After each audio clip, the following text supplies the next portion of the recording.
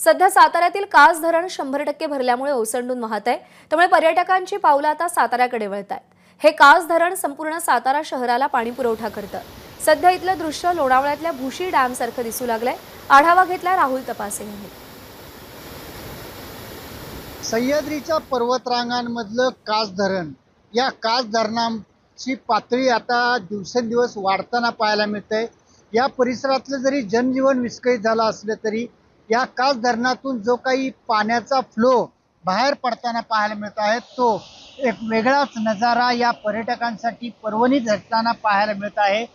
हे अक्षरशः दुधाळ असं पाणी जे आहे ते खळखळत या नदीपात्रात जाताना आपल्याला पाहायला मिळते अतिशय आनंदाचीच गोष्ट म्हणावं लागणार कारण या कास धरणाच्या पाणी पाण्यातूनच संपूर्ण सातारकरांची ताण भागवली जाते.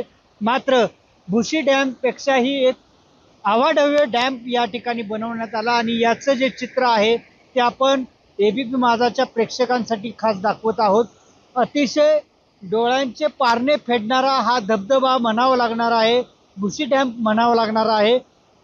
धरणातनं आता शंभर टक्के भरल्यानंतर या ठिकाणी हा फील या ठिकाणी पाहायला मिळत आहे. एकंदरीतच संपूर्ण सातारकरांसाठी ही आनंदाचीच गोष्ट आहे. मात्र या ठिकाणी फिरण्यासाठी आल्यानंतर स्वतःची काळजी घ्या असं जागोजागी फलक लावण्यात आलेला आहे.